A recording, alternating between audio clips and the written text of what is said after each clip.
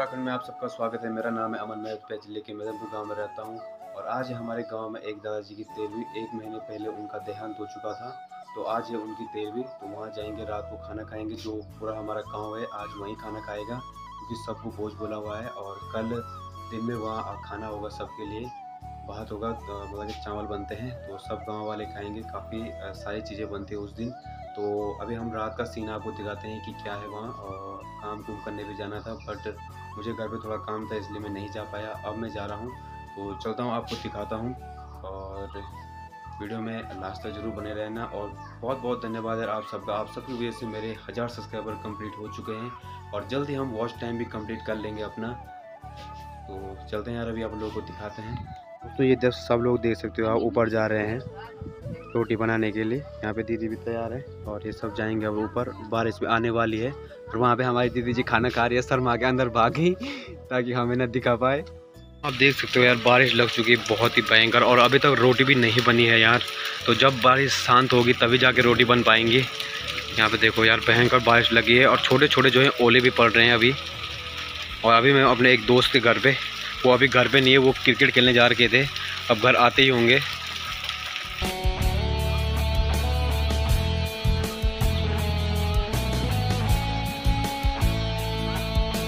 सामने बना रहे थे रोटी यार, और बारिश आ गई तो सब कोई यहाँ पे है तो कोई इधर है यहाँ पे। यहाँ पे टेंट लगा हुआ है। तो यहाँ पे देख सकते हैं आप, काफ़ी दिक्कत है। अभी थोड़ी बारिश, थोड़ी शांत हो चुकी है तो सब दोबारा से रोटी बना रहे हैं। भाई, बारिश तो नहीं हो रही, अब ओले पड़ रहे हैं, अभी छोटे छोटे सकते हो, ऐसा सीन आज तक गाँव में कभी नहीं हुआ है। यहाँ पे देखो, सब अंदर हो चुके हैं, और बाहर देखो, बारिश हो रही है। अब चादर लगा रहे हैं। और यहाँ पे देखो, हमारे गाँव के डॉन। बारिश शांत होने के बाद अब सब खाना बनाने बैठ गए हैं और जैसे चादर लगाए, वैसे ही बारिश बंद हो गई। और मैं रात की वीडियो नहीं बना पाया, रात को सबने खाना खाना खाया, उसके बाद घर चले गए थे। और मेरे फ़ोन की कैमरे की क्वालिटी भी उतनी अच्छी नहीं, जो मैं रात का सीन आपको दिखा सकूँ तो अब सीधा कल का सीन दिखाएँगे।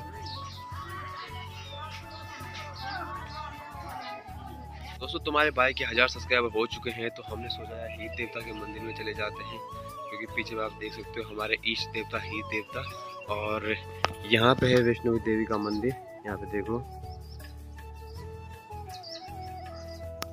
और वैसे तो यहाँ मैं कल भी आया था, कल मैंने यहाँ पे शाम को दिया दिया था धूप दाप वाली थी, और अभी मतलब दिन हो चुका है तो दिन में दिया नहीं देते हैं।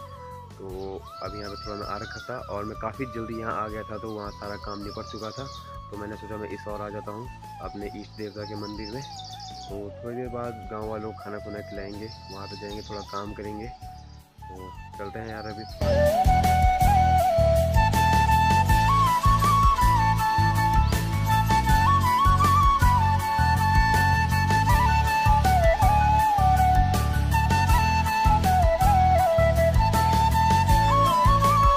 दोस्तों, घर के बगल पे आप देख सकते हो यार कितने सारे आम के पेड़ यहाँ पे लगाए हुए हैं। एकदम बगीचा टाइप में बना दिया है। और जब इन पे आम होंगे तो यार ये बेच भी सकते हैं। काफ़ी बिकते भी हैं वाले आम।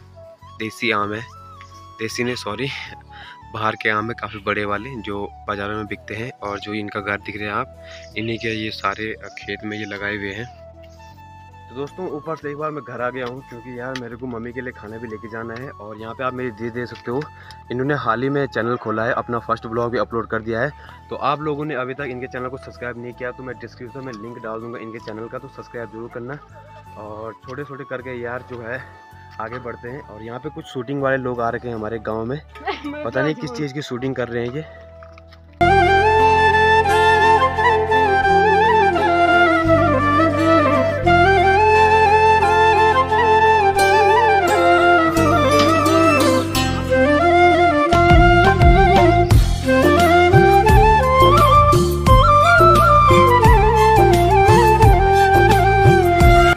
कुछ इतना खाना बना हुआ है।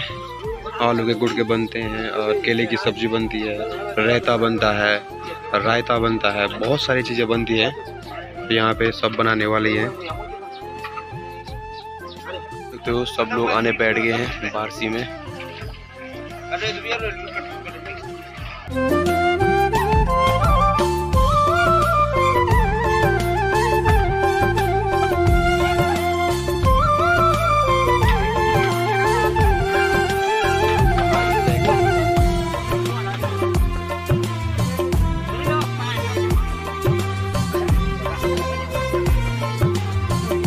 तो सब लोग बैठ चुके हैं खाना खाने के लिए और पत्तल पत्तल भी बांट दिए हैं और काफ़ी बंद मौसम है आज का।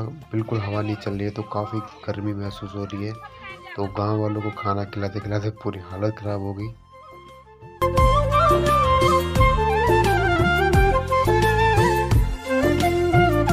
तो दोस्तों, अब चाह चुके हैं पंडित जी, भात बांटने चावल बांटने जो भी बने हुए हैं।